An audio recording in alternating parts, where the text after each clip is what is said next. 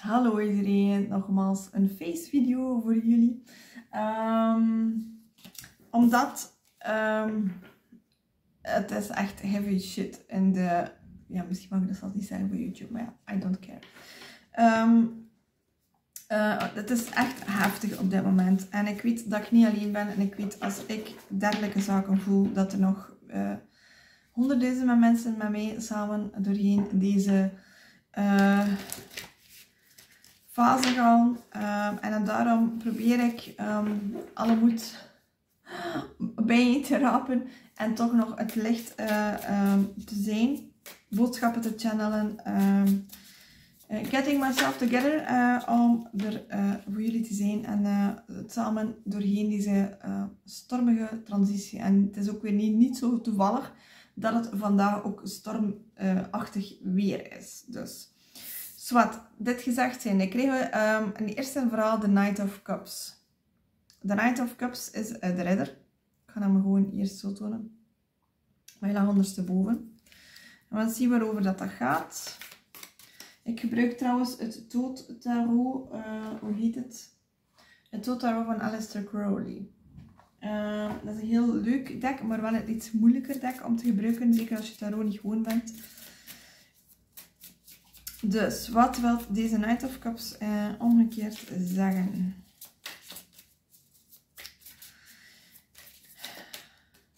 Hetgeen wat ik voel en hoor, we krijgen de full kaart, de full kaart ondersteboven.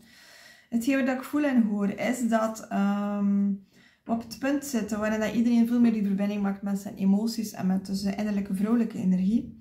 En dat we eigenlijk van daaruit dan ook weer die, uh, dat willen gaan vieren. En zeggen we, kijk, zie, dat is wie dat we zijn. Maar je weet, een kreeft, um, als er gevaar dreigt, dan kruipt hij in zijn, schulp, zijn schelp. En dan duurt het altijd een hele tijd voordat hij weer naar boven komt. En dat is hetgeen dat we eigenlijk nu ook een beetje meemaken. En daarom krijgen we ook die full.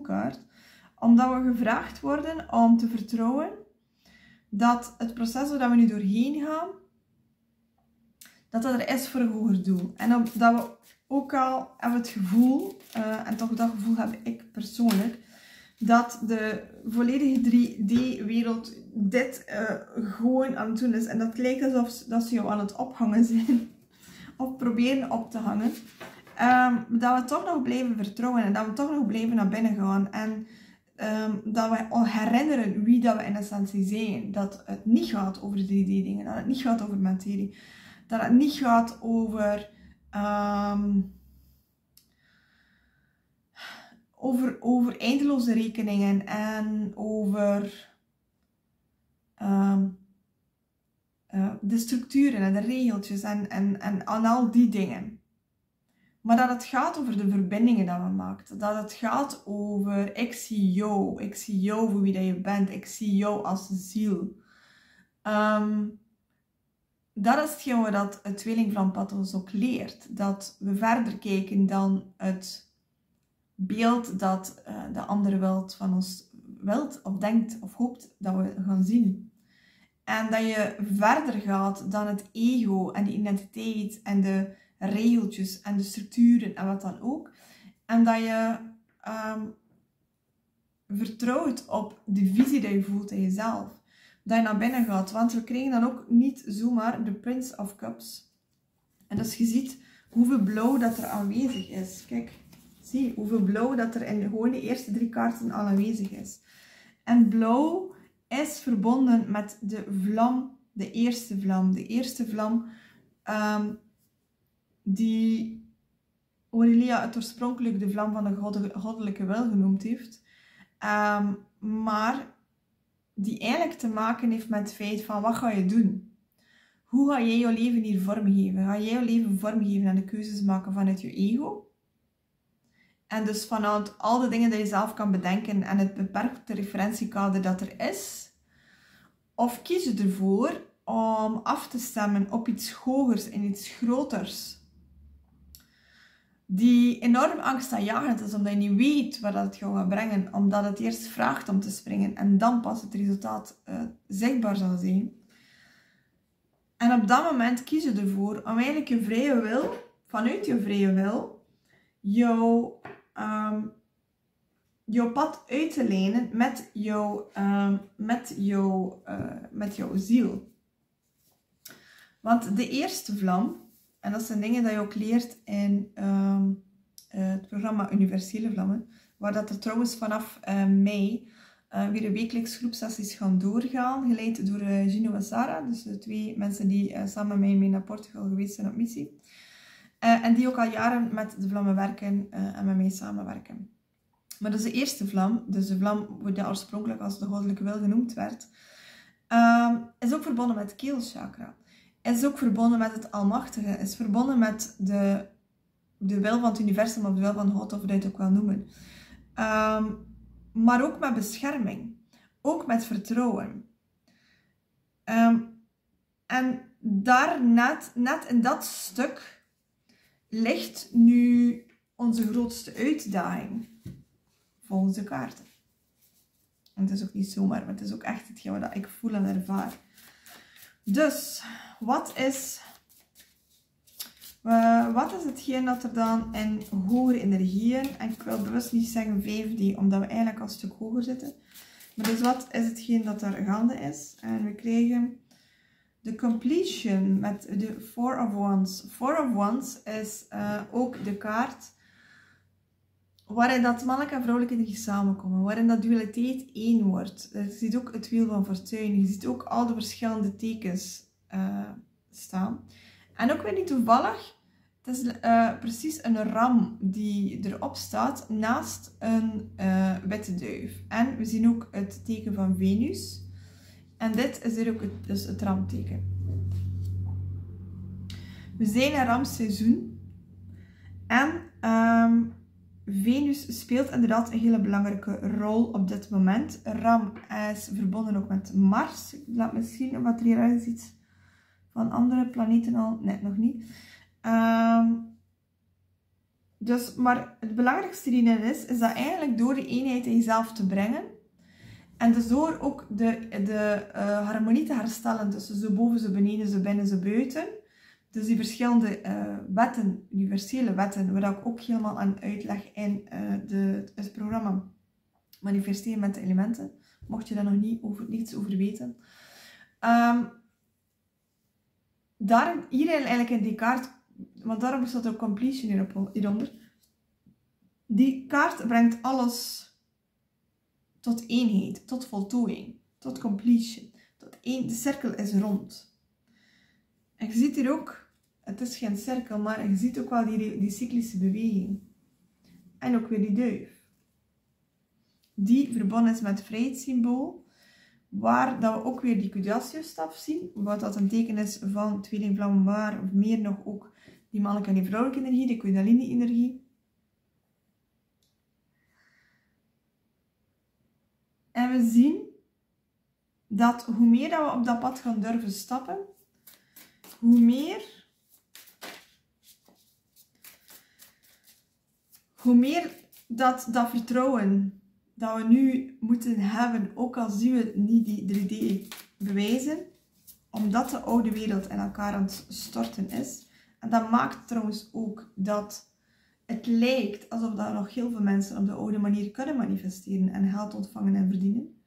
Maar begrijp ook dat als jij dat op een andere manier wilt gaan doen en je voelt dat je het niet meer op de oude manier kan doen en het werkt ook niet meer op de oude manier, maar de nieuwe manier werkt ook nog niet, dat is omdat je tussen die twee werelden staat en omdat je eigenlijk die transitie aan het maken bent. Dus ook daar is het belangrijk om uh, te gaan vertrouwen. En wat zien we? De lovers omgekeerd. Waarom omgekeerd? Omdat we dus nog niet in die completion zijn. Dat is hetgeen wat er nu haalde is in de energetische wereld. Maar we zien het nog niet tot onze grootste frustratie in de 3D-wereld. Maar dus hoe meer we daarop focussen en hoe, meer dat we die eenheid uh, aanbrengen in onszelf, hoe meer dat we die tastbare bewijzen gaan zien. En wat zien we dan? De Empress, ondersteboven ook weer. Want de Empress is meester, heer en meester over alle elementen. Vuur, lucht, water, aarde, etherische. En die heeft geleerd hoe dat alles samenkomt. En hoe dat ze eigenlijk uh, vanuit een... Uh, vanuit een, hoe moet ik het gaan zeggen? vanuit een geheelde en een heel zelfzekere manier weet van oké, ik moet hier gewoon in mijn vrouwelijke energie zitten van overgave en bereid zijn om te ontvangen. En dan krijgen we ook de 10 van uh, discs. Dus eigenlijk volledige vervulling. Alle je wensen zijn, uh, komen uit en wellicht de rode draad eronder. De 10 van wanten, oppression. Maar leg ondersteboven. Dus wanneer we gaan stoppen met um, ons zorgen te maken en de ballast altijd maar groter en groter te maken en onze volledige aandacht daarop te richten, op dat moment gaan we in ons vertrouwen stappen en gaan we stoppen met controleren. Gaan we in die overgave gaan en gaan we vertrouwen van oké, oké, laat maar komen. Alles die komt op mijn pad is er om mij naar die hogere uh, frequentie te brengen. En ik weet, het is een heel uitdagend pad. Het is een super moeilijk, lastig. Het, het brengt jou meermaals met je blote knieën op de grond. Maar geloof mij, dat is de enige weg dat we te gaan hebben en de enige manier om ook aan de andere kant uh, eruit te komen. Maar eerst eens kijken van welke vlammen dat gaat zijn dat we kunnen hier uh, mee werken, die ons kunnen helpen. Ik heb trouwens ook um, een transmissie online gezet, gratis, die eigenlijk betalend was. Um, uh, daarnet, uh, dat was, um, wat heb ik de titel gezet? Angst en, trauma healen, denk ik. Ja, het is die van vandaag. En wat kunnen we mee samenwerken? Dat is Engelarts en Jofiel met vergiffenis en deze kleur. Ik ga bewust niet de kleur zeggen, want dat gaat voor iedereen misschien ook anders zijn. Um, maar wat wel belangrijk is, is dat die, die vergiffenis is er ten aanzien van de wereld, is er ten aanzien van de uh, overheden, is er ten aanzien van ouders, is er ten aanzien van partners, werkgevers, systemen, kinderen, wat dan ook. Alles waardoor je, waardoor je beperkt voelt nu op dit moment. Want dat is door uh, Saturnus dat we dat in een vergroot, precies met een vergrootglas uh, zien. Omdat we het zouden voelen. Dat is hetgeen waar je nu deze week mee mag werken. En dat gaat jou uh, nieuwe, een nieuw begin brengen. Binnenkort, komend weekend, is er ook de um, samenstand tussen Uranus en Jupiter. En zoals ik al eerder uitgelegd heb, um, um, kan je dat ook weer op twee manieren gebruiken. Het kan zijn dat uh, Uranus ervoor zorgt, denk maar aan uranium en denk maar aan explosies en die kernbommen en zo, uh, op een negatieve manier gebruikt wordt. Maar je kunt het ook op een positieve manier gebruiken. En zeker in combinatie met Jupiter. Jupiter is de planeet van geluk, van overvloed, van goede dingen. Um, als je die twee combineert en je hebt dan nog een keer de drive van Mars die erbij komt, Um, dan kun je ook begrijpen dat plots snel heel veel dingen gaan veranderen. Maar net daarom is het belangrijk dat je heel bewust bent van je gedachten. Vandaar dat we ook Joviel krijgen. Joviel is ook verbonden met je gedachten, dus met het mentale lichaam. Um, en met ego. En denk aan wat ik daarnet gezegd heb. Wat ga je doen? Ga je keuzes maken lijn met je ego of alleen met je ziel? Dat is de vrije wil die je hebt. Um, en we krijgen ook weer de witte duif met Artsengel Haniel en hoop. Dus het is belangrijk dat we blijven positief, dat we blijven positief zijn en dat we blijven, hoe lastig dat ook is, hoe graag je ook wilt opgeven. Um, maar wees nu eerlijk, er is gewoon geen weg terug. Dus ofwel blijf je zitten waar je zit, maar dat is ook niet het meest aangename en het meest leuke, als je mij vraagt. Dus um, laten we elkaar gewoon uh, ondersteunen en helpen en kijken wat dat nodig is. En laten we elkaar ook zien voor wie dat we zijn. Gewoon uh, ook een ziel hier die ervaringen komt opdoen. Die wilt meegroeien, die mee wilt ascenderen, die mee wilt in die hogere energie gaan leven. En help waar dat je kan. Hè. Je moet natuurlijk niet jezelf opofferen ten koste van. En dat is niet de bedoeling. En dat wordt aan niemand niet gevraagd. Uh, maar het is des te meer belangrijker dat we gaan kijken en dat we een helpende hand gaan uitsteken aan, aan, aan degene dat we zien die even in de modder vastzitten. Uh, of die een laars aan het verliezen zijn. Dat we even gewoon zeggen van oké, eh, hoe gaat het met jou? Hoe voel je vandaag?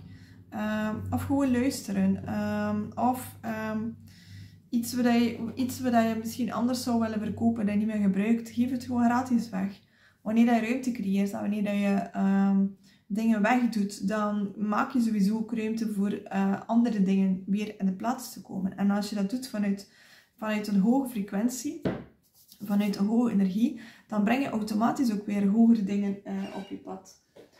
Ehm, en ze geven mij het beeld van de kaarten, dus dan gaan we die ook nog eens doen. Wat zeggen we?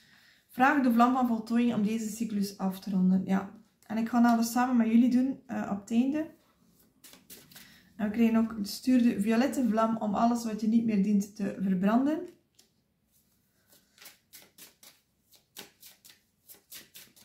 En wat hebben we nog? Oké, die twee nog. Je bent al wat is en al wat is ben jij. En dat heeft ook te maken met dat één bij je bewustzijn. Oh, ik, had, dat, ik had het gevoel dat er hier twee waren, maar dat is maar eentje. En je blauwdruk is er één van zuiverheid, eenheid en ware liefde. En dat is dat ik daarnet ook gezegd heb. Vergeet niet wie jij bent. Blijf daarop focussen en blijf je leven vormgeven vanuit dat horen, vanuit jouw energie. Alles wat je wenst aan te trekken, is er al in energie. En de reden waarom dat niet in je fysieke wereld is, is omdat je het niet toelaat. Omdat er iets is waardoor je niet gelooft, niet vertrouwt nog probeert te controleren. En eigenlijk een afslag neemt, terwijl je gewoon moest zitten, zijn, ademen, naar binnen gaan. Mediteren, maakt mij niet uit. Um, gewoon zijn. Um, Oké. Een van de dingen dat we nog te doen, en dan ga ik deze video afronden, um, is vragen aan de vlam van voltooiing om de cyclus af te ronden en tegelijkertijd gaan we de violette vlam er doorheen sturen en uh, ik ga ook, uh, we gaan ook deze twee vlammen gebruiken. Dus de robijnrode vlam en de geel-oranje vlam. Dus um, we gaan dat heel snel doen. Het kan ook snel. Het werkt dus met de vlammen. En dus wat we gaan doen, je, kan je ogen sluiten als je dat wilt, dat hoeft niet. Maar dus wat gaan we zeggen van oké, okay, soort even dat je gecenterd zit. Dat je bewust nu bent en je met niet veel andere dingen bezig bent. Maar dat je eventjes gewoon twee minuutjes de tijd voor jezelf neemt. En het kan zijn dat je hoofd uh, bovenaan je kroonchakra begint te trillen of te tintelen. Dat is oké. Okay. Adem een paar keer goed diep in en uit.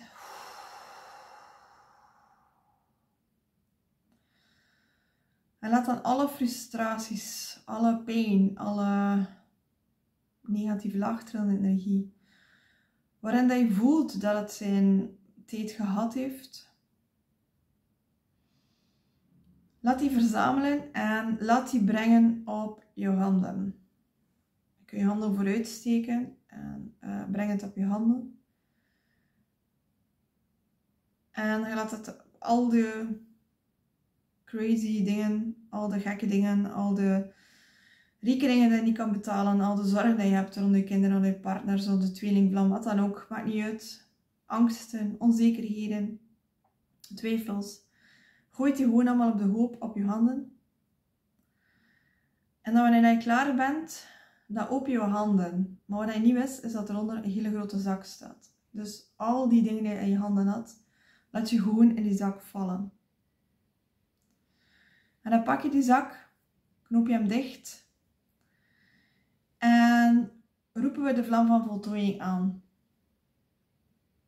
Het kan zijn dat je een bepaalde kleur ziet. Het kan zijn dat het zich vertoont in de vorm van een vuilnisman of een vuilniskar of een, of, of een vuilnishoop of een brandstapel. Het maakt niet uit. Laat gewoon jouw team tonen waar de vlam van voltooiing is. En dan gooi je.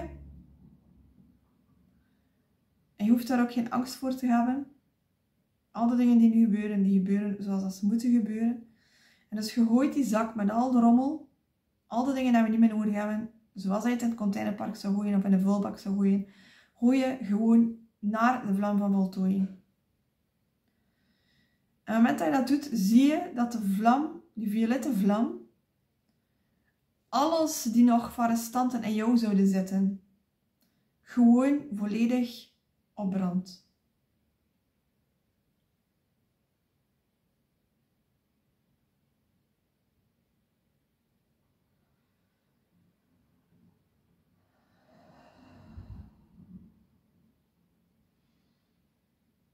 En dan roep ik de robijnrode vlam aan om jouw energie en alle leegtes die gecreëerd zijn door die rommel weg te doen.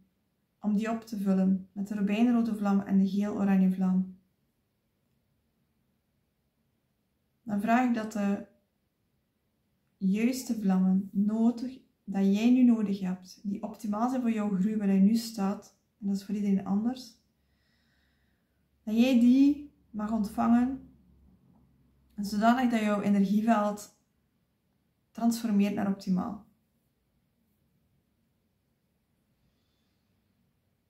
En bij deze vraag ik ook aan jouw team om jouw energieveld te optimaliseren, de grondingscoren aan te passen en je Karana te vernieuwen en optimaliseren. En zo is het. Dank u.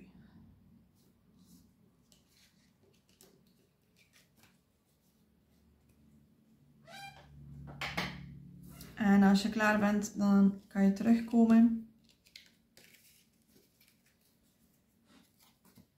En dan gaan we deze video afronden. Voilà. Als je meer van deze diepe transmissies wilt, dan uh, zeg ik het, ga naar 96vlammen.be. Het programma uh, die daar staat, is het programma dat je nu nodig hebt om je ascensie uh, te versnellen, te versterken, beter te gronden, wat dan ook dat maar is dat je nodig hebt nu in deze groei. Voilà, dat was van nu. Oh ja, daar vind je trouwens ook de video's uh, waar ik in detail vertel wat dat er gebeurd is um, de afgelopen jaren rond het ankeren van nieuwe kristallen tempels. Um, en dus alle nieuwe informatie rond die vlammen ook, want dat mag nog niet hier verspreid worden. Bij deze dank ik u voor uw aandacht. Vergeet niet te liken, te subscriben, uh, het abonneren in het Nederlands. Um, deel de video met uh, gelijk wie dan ook dat voelt dat ze nood aan hebben. Um, um, ik probeer op alle comments te antwoorden, maar ik heb al gemerkt dat mijn programma in YouTube niet altijd alles toont. Zeker niet als het een comment is onder iets een andere comment. Dus uh, moest het daar zijn, is het soms gewoon gemakkelijker om een nieuwe comment uh, te zetten. Dus niet een antwoord naar. Uh, zeker als de vraag is waar je graag wat inzicht of een antwoord op wenst. Uh, voilà. Ah, ook channeling en uh, je persoonlijke privévragen kan natuurlijk ook. Ik heb ook de mogelijkheid om één vraag te stellen. Dat vind je allemaal terug op de website uh, www.schoolvoorascensie.be. Daar vind je ook het programma terug manifesteren met de elementen, waarin ik alles uitleg van hoe dat komt dat je nog gemanifesteerd hebt, wat dat de valkuilen zijn, wat dat de blokkades kunnen zijn, een aantal technieken waarbij je kunt gaan manifesteren om je wat zelfzekerder te gaan voelen. Uh, wat dat principe niet, niks van nodig is. Ik kan gewoon zo gaan manifesteren, maar die mind zit ons er vaak tussen. Um, wat vind je er ook nog? Oké, okay, het uh, spiritueel ondernemerstraject. Um, je hoeft daarom niet per se een ondernemer te zijn, maar als je zegt van oké, ik wil dat next level met de vlammen werken, ook dan is dat eigenlijk heel ideaal voor jou omdat um, daarin ook weer heel veel transmissies gemaakt zijn, gericht naar lichtwerkers gelegd naar ondernemers, gelegd naar in je kracht gaan stappen en je leven vormgeven. Dus ook echt op die meester manifestator. Ook dat is beschikbaar. Uh, gewoon zo uh, voor jou onmiddellijk beschikbaar na, uh, na betaling of na een eerste termijn betaling, afhankelijk van wat je kiest. Mocht er nog vragen zijn, mocht er nog onduidelijkheden zijn, let me know. dan maak ik er een video over of antwoord ik jou persoonlijk, hangt ervan af. Um, ik ga binnenkort starten met de zodiac readingen opnieuw. Um, ik ben er nog niet toe gekomen, ehm, omdat een aantal andere dingen mijn uh, aandacht gevraagd hebben. Voilà, dat was van nu. Ik ga deze video uploaden en dan uh, straks mijn kinderen opnieuw van school gaan halen. Dag!